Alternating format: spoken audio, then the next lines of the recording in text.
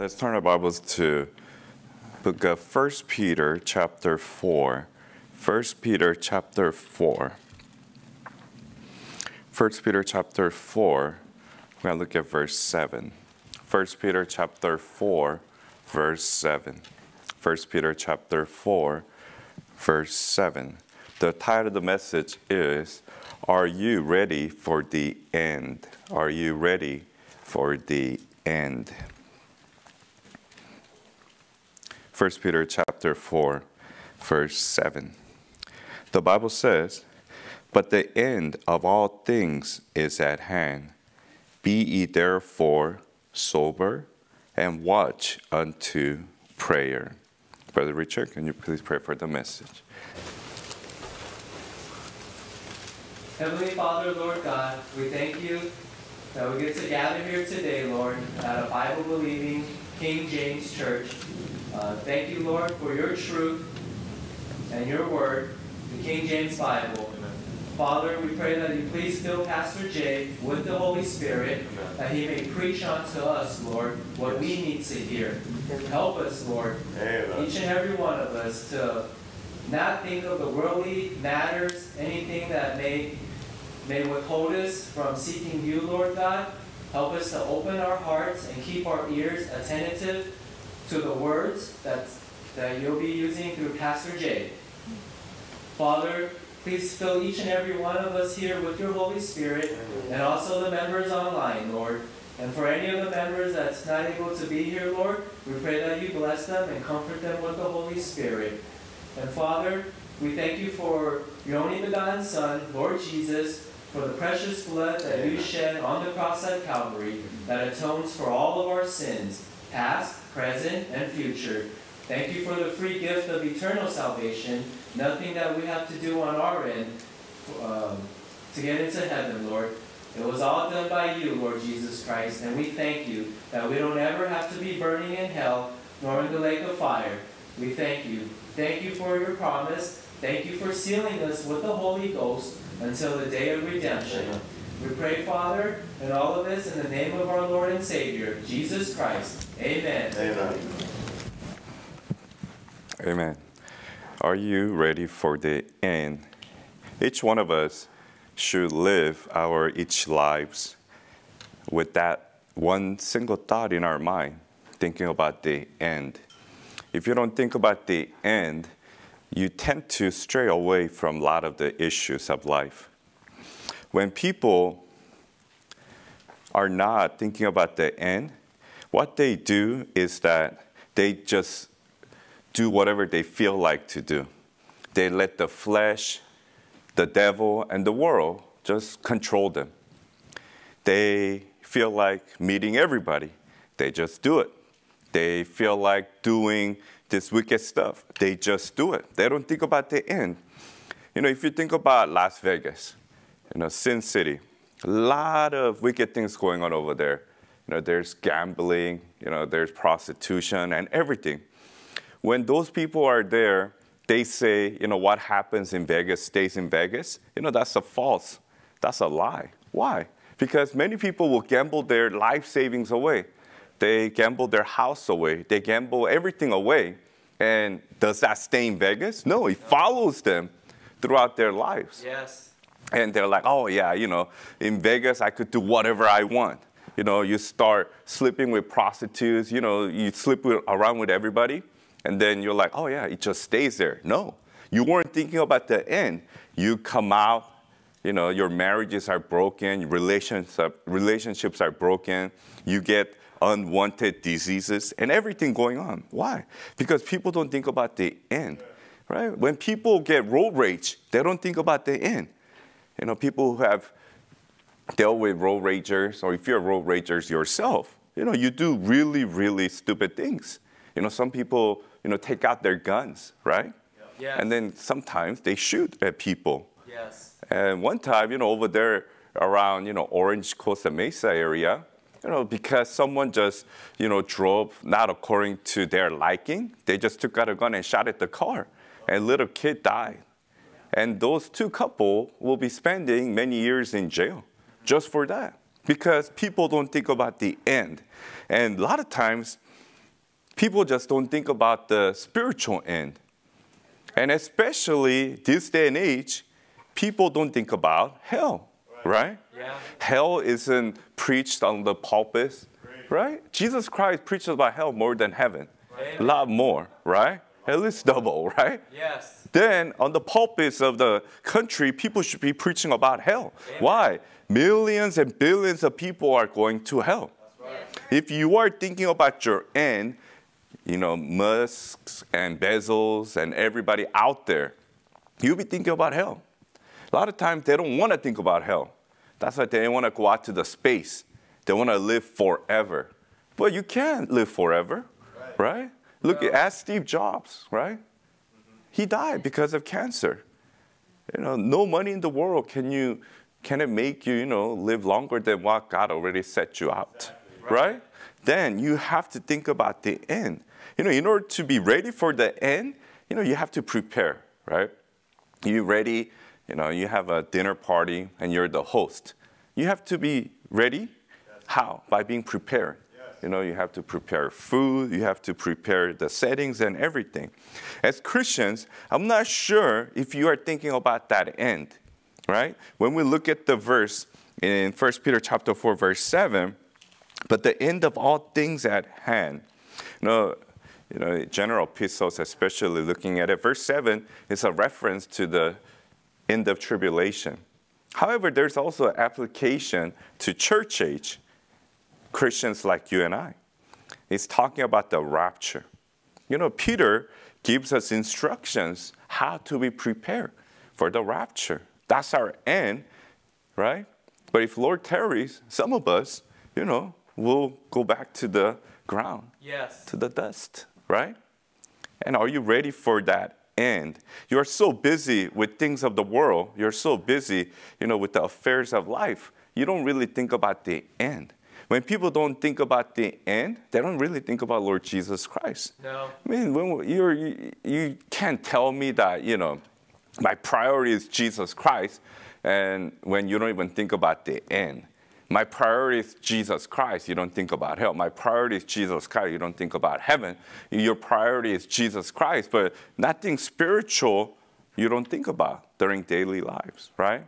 You know, we had summer camp, you know, and afterwards, how many of you guys still have that zeal and love and commitment that you had on the mountaintop experience?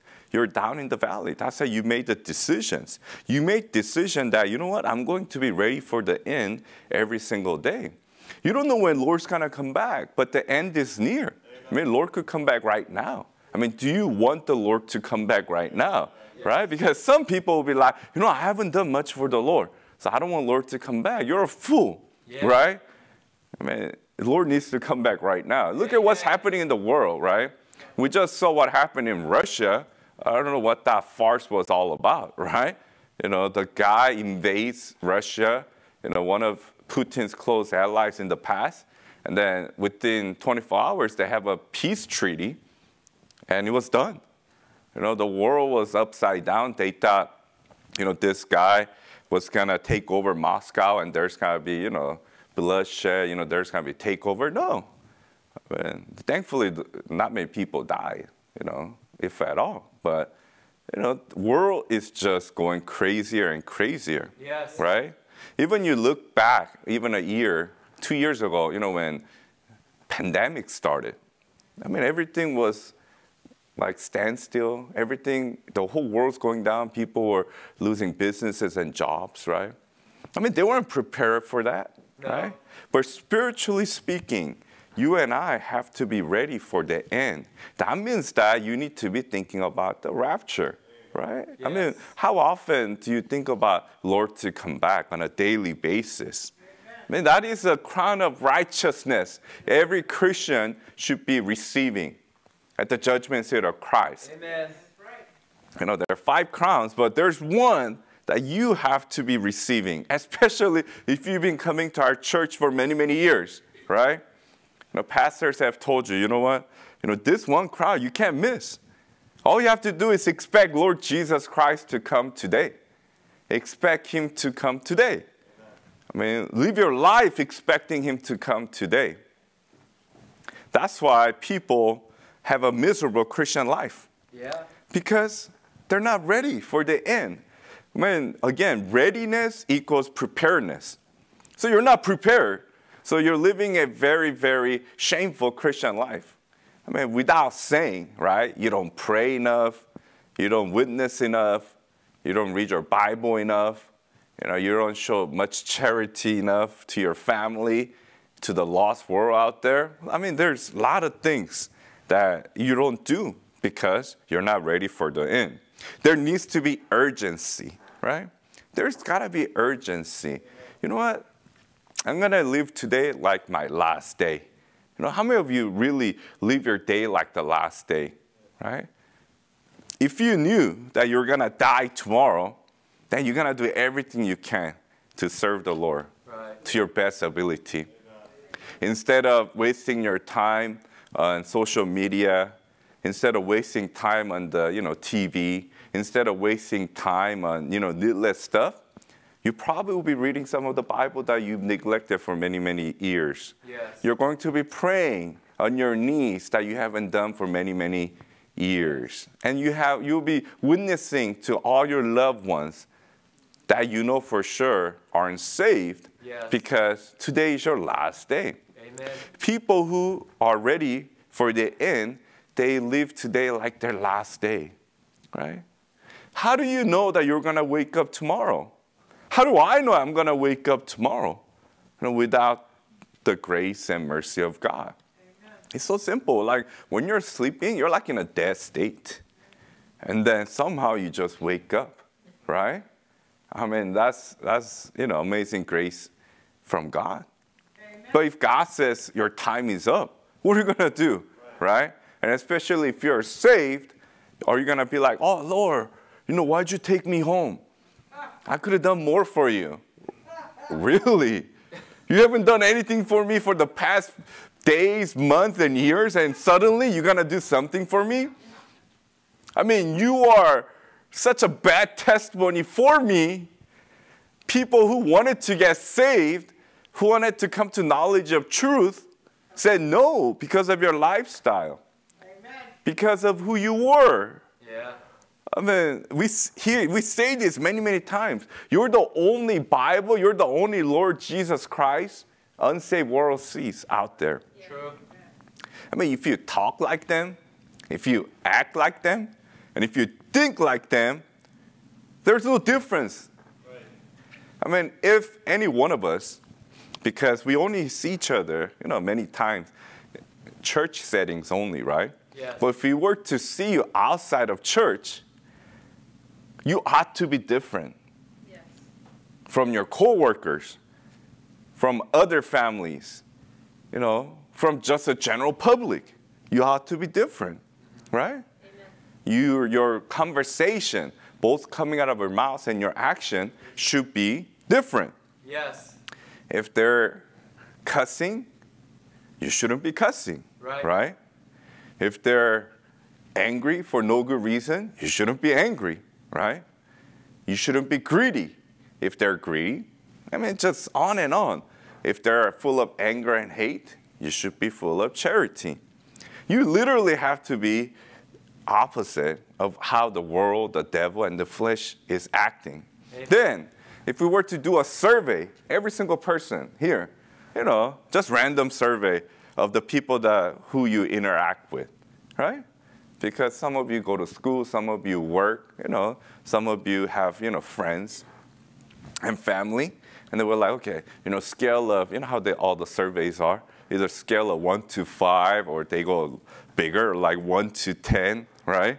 You know, how much of a Christian do you see, you know, in this person? And then you have all this list of categories, right? You know, while they're driving, while they're, you know, having a coffee break, right? You know, while they're working, you know, while they're eating, you know, blah, blah, everything. Because some of you guys don't pray before you eat Yeah. when you're outside of church. I mean, what's wrong with that? Are, are you not thankful for the food when you're outside of church? Come on. You know, you're only pray because we have a group prayer, Wow. right? And then you have to close your eyes and put your head down, or else you look disrespectful. I mean, no etiquette, right? But outside of it, even for a few seconds, I mean, do you give thanks to God for your food? I mean, who, who cares what people think, right? Yeah. You close your eye, put your head down, and pray. Amen. I mean, or I mean, people even just stutter and say it out loud, right? Right, Lord, you know, Lord God, thank you for this food. You know, in Jesus' name, Amen. You just do it, Yes. right? I mean, every other religion does it. Yeah. I mean, some religions they do it five times a day, right? Some religions just stand out there, you know, with their literature all day. Yeah. And it's- they have a table somewhere, and then they just want people to talk to them. They love representing what they believe in. Why is it that in this watered down country, especially when it comes to Christianity, you know, people don't want to stand up for it? Why? Because they're not ready for the end. You know, people who are not ready for the end, you just enjoy the moment, right? Yeah. Oh, yeah. My coworker said, "Hey, let's go happy hour." Right? You don't have to drink or anything, right? Just be there. Man, and suddenly, you know, you come out in every single social media, you know, you have a cup of water, but it looks like, you know, alcohol, right? And then, man, your testimony is ruined. You know, Bible says abstain from all appearance of evil. Yeah. You don't need to be at a place when you don't need to be there, right? I mean, a lot of times those things they can force you. I mean, at my work, they can't force me to go to happy hour. Yeah. I just say no, I don't go. That's it. But if you want to save your face, you say, you know what, I need to go further in my career, and I need to meet these people, I need to mingle with these people, blah, blah, blah. I mean, that's all, everything is just what you want. That's not what God wants. I mean, that's not going to please Lord Jesus Christ because you don't think about the end. You're just thinking about the present, just little present day, present day that you're living. Okay, you know, I need to get promoted, you know. And then what's the reason for promotion? I don't know, right? Many people want to get promoted to just to show off, right? You know, I want this title. You know what? Then start your own company with a salary of like 100 bucks per month, right? To yourself. You know, I'm the president of, you know, ABC Enterprise, right? I'm the CEO, I'm the founder. You know, and make your business card. You know, if that's gonna make you happy, right? Pass them out. Hey, you know, I'm the president and CEO. You know, I mean, that's such a foolish thing. Too many Christians are just running after, you know, worldly things. Yeah. That's why you don't think about the world at all. I mean, you don't think about, I mean, the end at all. You know, you're not ready for the end, right? You're just out there, just busy with things of the world. Your mind is not about the mind of Christ, right? You don't have no truth inside of you much. You, don't read the Word of God too much. You don't act upon the Word of God too much, you know. And then you just let the world control you, this world system control you. You let the God of this world just constantly control you over and over and over. And then at the end of the day, what do you get out of it? I mean, did you have a fruitful week this week? I mean, what was it? Did you get closer to the Lord Jesus Christ? Did you read the Bible more than before? Were you on your knees more than before? Were you passing out the tracts or are you, you know, preaching the gospel to people more? You're not ready for the end, right? Yeah. You're just ready for your own life. You're just ready for, you know, the destruction that's gonna come your way. If Lord says, just like that. You have to remember, Lord God controls everything. Amen. I could be a billionaire, billionaire right now. Lord says, you know, I want you to, you gotta be poor tomorrow. You gotta, you, I gotta teach you some, you know, humility lesson, right? Then, you know, I mean, the bank goes, bank just disappears, you know, where all my money is, right? Or like some platform or exchange just disappears, like things been happening recently, right? Yes. Oh, or you, you have like you're running a business and suddenly you know there's a lot of bad reviews and no one ever comes to your you know business anymore.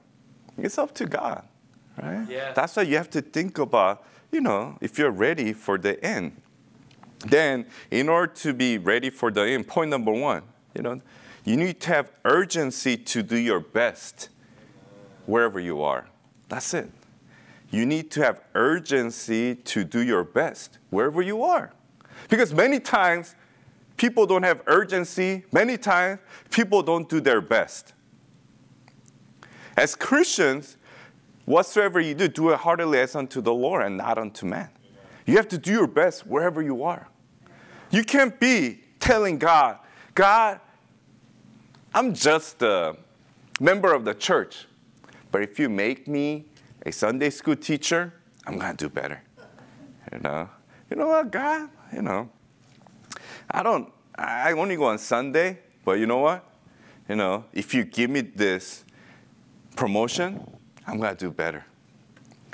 Like, I mean, nothing against people, you know, outside. You know, you know what? If I'm at a different church, I'm gonna do better. You, hear that all the time, right? You know, you know, you know, our church is not that hospitable. You know, our church, you know, people gossip. Our church, you know, people look at the wrong way. You know, our church, you know, pastors don't say hi to me all the time, shake my hand, hug me, you know, and then pray with me all the time. You know, you know, all those things going on. You're like, then you know what? If I were at a different place, I know I'm gonna do better for the Lord. I mean, that's the biggest fool. I mean, that's you deceived yourself from your own heart, right? right? If you don't have urgency to do your best wherever you are, wherever you're sitting, then you'll never do best anywhere else, right? People say, you know what? You know, those CEOs, those executives at a company, they don't do much, you know. They just sit there, you know, count their money and stuff. You know.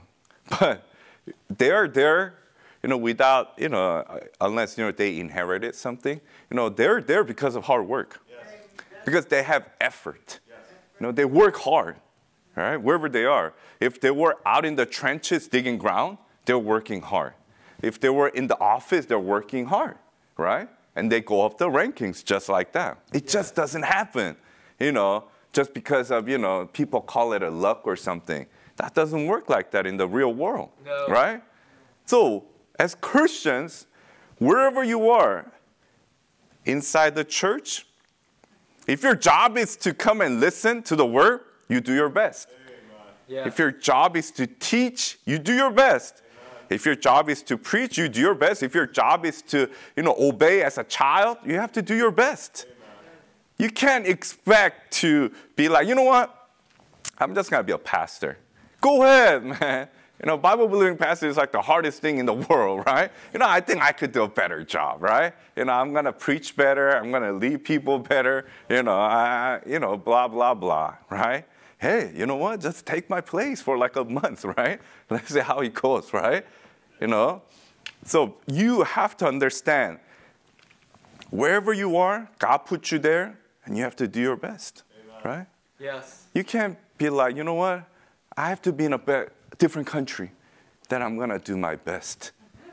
If you're not doing good and your best in your own country right now, how do you expect yourself to do best at a different country? I mean, people have this false idea, yes. right? You have to get rid of it as Christians. You know, wherever you are, you just have to do your best.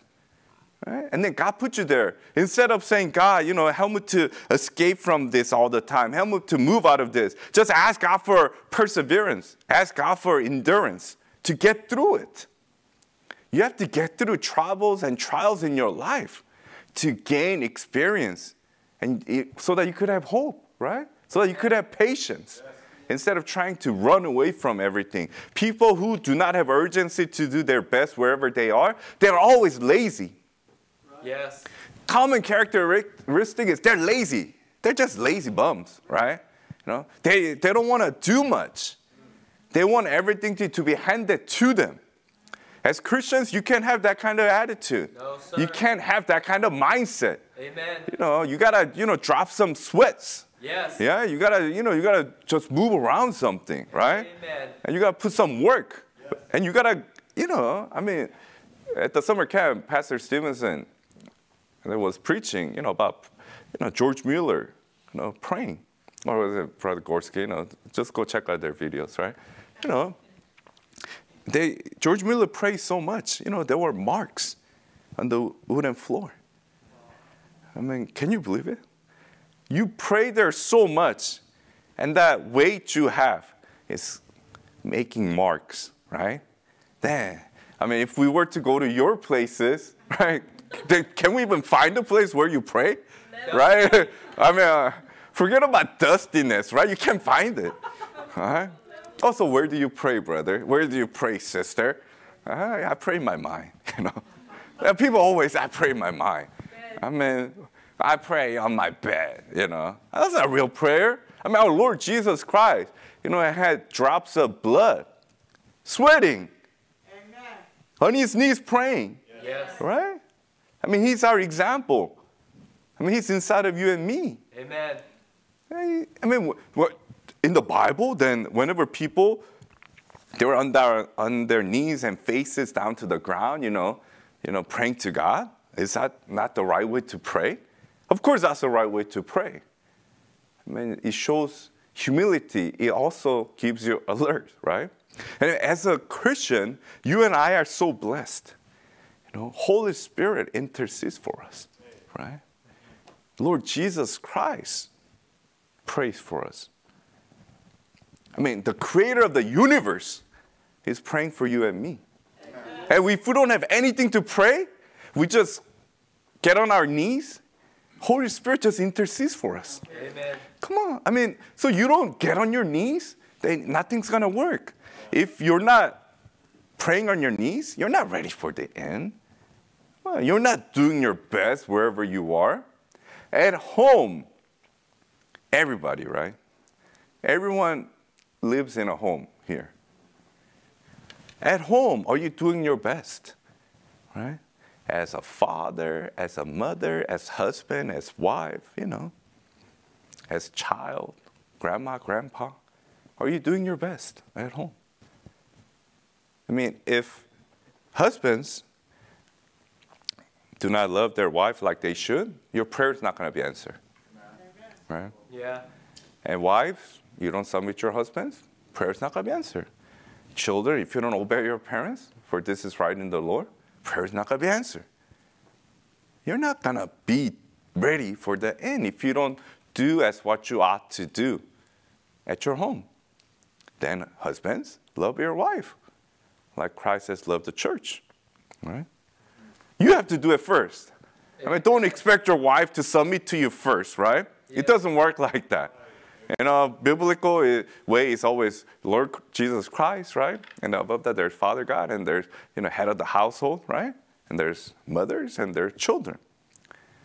You can't expect children to you know obey and follow a father when they neglect their mothers. Right. You can't expect children to you know submit to their mom if she doesn't submit to their husband. And I'm talking about godly husband, right? Yeah. You know, we're not talking about white beaters, you know, people who's alcoholic, you know, no. who's intoxicated all the time. You know, we're not talking about those. You know, godly parents, right? Because, I mean, our text verse says that you have to be sober, right? Yeah. You know, sober not only talking about, you know, being drunk and intoxicated, it's talking about being serious. Because we're at the end, we just don't know when, but the times are telling us you have to be serious Amen. about this spiritual business. I mean, as they say, right? Cliches everywhere. It's serious business, right? Yes. You know, you hear that all the time, right? You know, in a relationship, it's serious business. You know, at work, it's serious business, right? When you're even playing, you know, whether it's sports or whatnot, you're saying it's serious business. But when it comes to your relationship with Lord Jesus Christ, doing best at wherever you are, especially at home, inside the church, in the ministry, it's not serious business. You're not sober, you're not vigilant. You're lukewarm. I mean, the common characteristic of Laodicean age, you're just lukewarm, right? You don't really care, right? You're like, blah, blah, blah, someone else is gonna do it. Are you that type of person all the time? You know, someone else will do it. I mean, what a lazy attitude, you know. At home, you know what, my child, my children, or my wife will do it. Lazy husbands, right? You know, lazy wife. Yeah, everybody else's will do it, right? Lazy children. Oh, my parents will do it all the time. I mean, there's like no diligence within, you know, not just normal, but in a Christian family nowadays. Everybody wants to just try to get away with it as much as possible, right? You know, I, you can't be that person, you know, when there's like a church cleaning, you know, you go to the bathroom, right? Ah, yeah, not to clean the bathroom, you know, but you want to spend some time in the bathroom, right? Out of the, all the times of the day, right? For a few of you, a few of people, right? You're always, your stomach always hurts during, you know, church ministry times, right? When it's time to clean, you know, when it's time to go out there preach, when it's time to go out there and witness, like, oh yeah, my stomach always hurts. You know who does that? Little babies do that, right? Babies like, oh, you know, I don't feel good. So I can't do it, mommy. I can't do it, daddy. I mean, how long will you stay as a Christian baby? Yeah. I mean, some of you have been saved for a long, long time. But instead of growing spiritually, you're still the same or worse. Can you imagine it could get worse, right? You had that first love.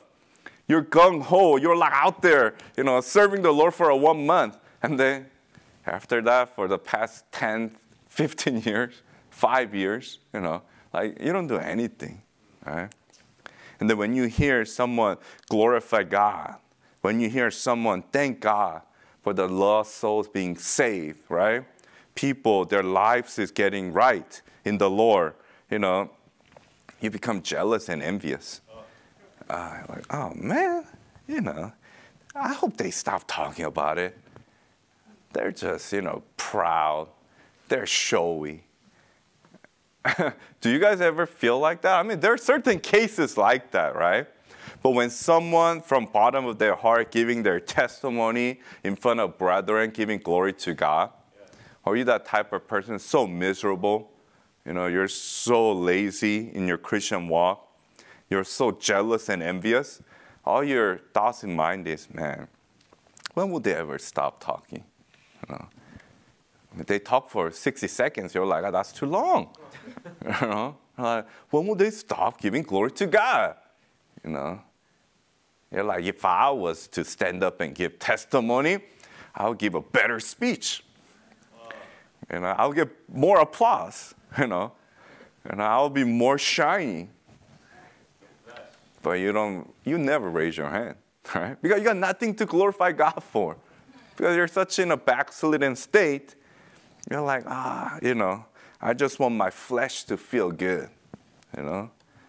And many times then you ask yourself, I mean, why do you even take some time out of your, you know, life to be where you are?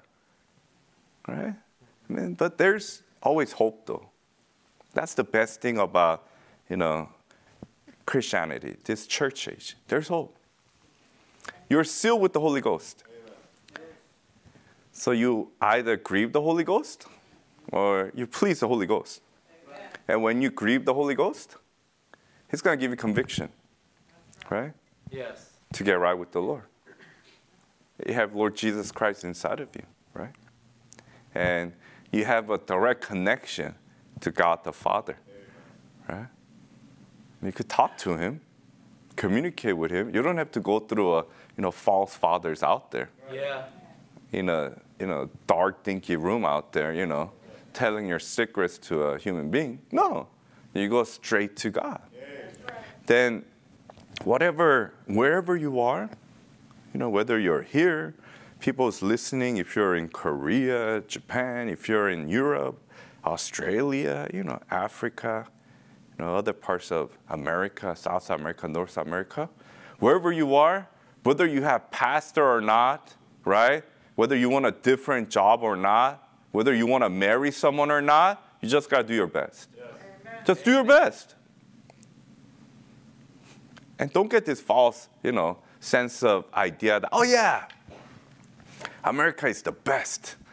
So I have to go to America no matter what. Man, ask the folks here. It's the same everywhere, right?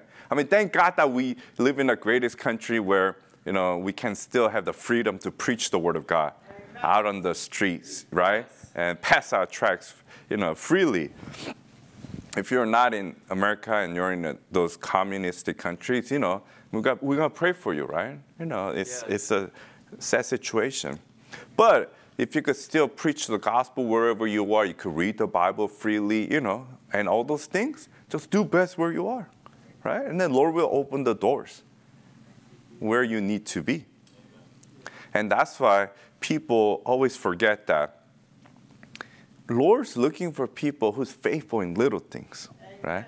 Just little tiny things, right? I mean, do you put your time in each day to spend time with Jesus Christ? Amen.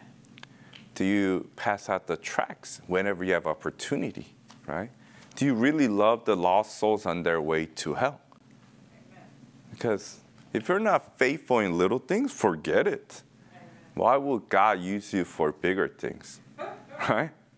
I mean, if you're a CEO of a company and you've been observing, you know, the workers inside your company, and this, you know, employee A, you know, even refilling the water jug, they do it faithfully. You know, they never let the water drop a certain point, right? But you see employee B, they only move when people start asking for water, right? Hey, where's the water? I'm thirsty, right? And then you give attitude. Wait, man. Don't you know how heavy the water jug is? Just wait. Stop complaining. Bring your own water, right? And if you are the CEO, who do you think you will give more responsibility to? Who do you think you give more rewards to? I mean, as Christians, you're like that employee B. You only react and you only move when water runs out, when people start complaining, right? Do you have to wait until your wife, your husband, your children, your grandma, grandpa, your coworkers, your friends have to point something out for you to move when it's obvious things? I mean, if you don't even pray in front of your family, I mean, what kind of role model are you? And don't say, you know you know, I'm too humble. Inside of your home, someone's gonna see you sometime doing something when you're not looking, especially for years and years and years. And if they've never seen you pray, then you don't pray. Don't lie and be like, you know what, I, I go into my closet, you know, I lock the door. You know, I have a, like a three latches over there so that no one could ever bother me when I'm praying. You don't. I mean, you wake up, you know, get on your knees and pray to God. Amen. I mean, the, whether it's dawn, whether it's you know, you know, high noon, you know, right before you sleep, right? Yes. That's where children learn from their parents. Amen. Children, you know what? You know, sometimes I don't agree with my parents, but you know, they do spend time with the Lord on their knees in prayer you know. And then as they grow up, they remember that, they appreciate that, and they do the same. And their children learn. And generation after generation, you have a praying family. But all you do is do a five second prayer, you know, dinner table. You watch your stuff, whether it's TV, computer, you know, your cell phone, and you just go straight to bed, right? and that's all your children see, your children will never say you're a you know, man of prayer or a woman of prayer. And they don't, they'll never think that prayer is important. What does the Bible say? We looked at. But the end of all things at hand. Be ye therefore sober and watch unto prayer. I mean, second and last point is, right? Do you have urgency to pray? I mean, it's simple. Do you pray always? Bible says pray without ceasing. I mean, you just gotta pray. I mean, do you pray enough? We should never say I pray enough. Yeah. Because we don't pray 24 7. Right. But do you pray at every opportunity? I mean, it's uh, one of the hardest questions and toughest questions to say yes to.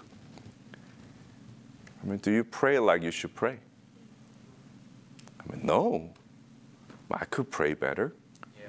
Man. And it's the position too, again.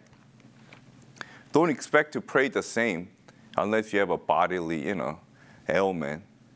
Like when you're, you're not on your knees and praying, right? There's a reason why, you know, forefathers of faith, you know, people, you know, faith, you know, they pray on their knees, right? They're praying to Almighty God. They're praying.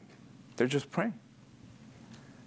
When was last time you prayed for more than five minutes? Right? Five minutes. It's like you watch commercials for five minutes all the time. Right? You watch a show, five minutes goes by super fast. All the commercials. When you're talking to someone, five minutes goes by very fast right? And if, especially if you're talking about topic that you like, whether it's politics, sports, religion, world news, five minutes goes by very fast if you're talking about something that you like. But man, when it comes to prayer, you don't have any urgency. You start complaining, your knees hurting, and you've been, you know, kneeling down for 30 seconds. Or some people just fall asleep. But that's better though. I mean, you're, you're practicing. You're practicing, right? We have, you know, some of the young, young kids, you know, praying. And, you know, if our Wednesday prayer is more than like 15, 20 minutes, right? You know, they're tired. They had a long day. You know, they, they're in the right position to fall asleep, right?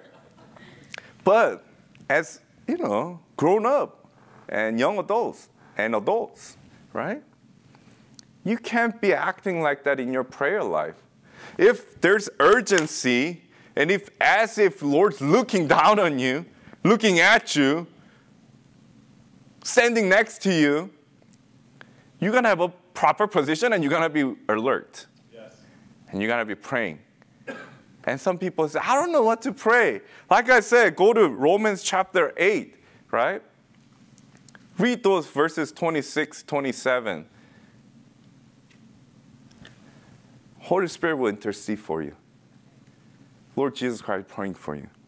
And one of the reasons you can't stay that long because you don't read the Bible. So you don't know the Lord too much. So you don't know what to talk about during prayer, right? You don't know his commands. You don't know what the stories in the Word of God is, right? So they're like, I don't know what to pray. That's on you. In order to have a better prayer life, read the Word of God. Yes. I mean, urgency to pray involves urgency to read the Word of God. I mean, God speaking to you, you speaking to God. Then, I mean, you can be ready for the end. If you have urgency to do your best wherever you are, you have urgency to pray. And then all these things will just put in place. Then you'll be ready for the end. You're like preparing for the end. You're like, I understand when people say they want Lord Jesus Christ to come right now. I understand when people can wait for the rapture, right? I understand when people want to get rid of this, you know, fragile bodies once and for all and have the redeemed, glorified body, right? You're going to have more and more of desire to be with the Lord. You got to understand what Apostle said before he went to be with the Lord, right? I mean, he's waiting for him to come back and come back. And that was a couple thousand years ago. Time has passed by. We're getting near and near and near, right? Yes. And Apostle Paul, Apostle Peter, right? Then where should your mindset be? Your mindset should be in the Word of God, right? In the Lord, doing your best, being prepared, and getting ready for the end. Not 10 years from now, not five years from now, on a daily basis. Without it, then you're just gonna become a same old backslidden, good for nothing, you know, Jesus Christ, you know, destroying testifier once and for all. That's it. And then at the judgment seat of Christ, Lord will be playing. Wow, man, You've really done nothing for me Oh man. I want to hear even a tiny bit of my life where Lord says, Well done, thou good and faithful servant. Or are you going to be that wicked, wretched servant? Man, all you hear from the Lord is, I shed my precious blood for you. I gave everything for you, but you done nothing. I mean, then you're like, you're like that parable, right? Where you get this towns, and you get Lord gives you opportunity to do something in your life, and you don't do anything. Your excuse is, oh, you know, I just kept it. Then, no, no, I'm just giving it back to you. No, you didn't. What you really did was destroy, you know, other people's faith, destroy your family's faith. What you did was uh, literally be harm to the body of Christ, which you are part of. Man, that is the last thing I want to hear from my Lord and Savior Jesus Christ. Are you going to get ready for the end? I mean, there are no more excuses. I mean, how long are you going to say, until this happens, until this happens, until that happens, until that happens, you know, I'm going to change? Wow. You change right now. Yes. You don't have to wait.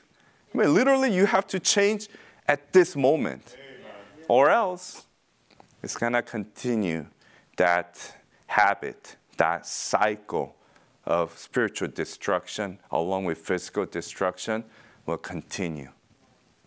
Let us never forget you and I reap what we sow. Let's pray.